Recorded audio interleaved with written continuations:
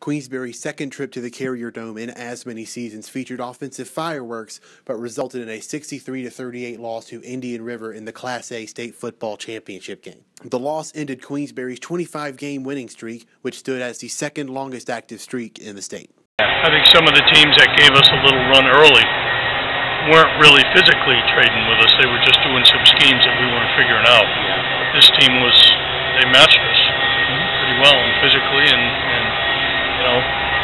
maybe losing Tyrell took some wind out, but the kids didn't give up. They kept coming. Brett Rodriguez led the Spartans offensively with five total touchdowns, including one on a 93 yard run. Oh, I mean, our line did a wicked good job. Uh, Nick Marasco leading me through, and uh, I just hit a, I hit the hole. And you were gone. Yeah.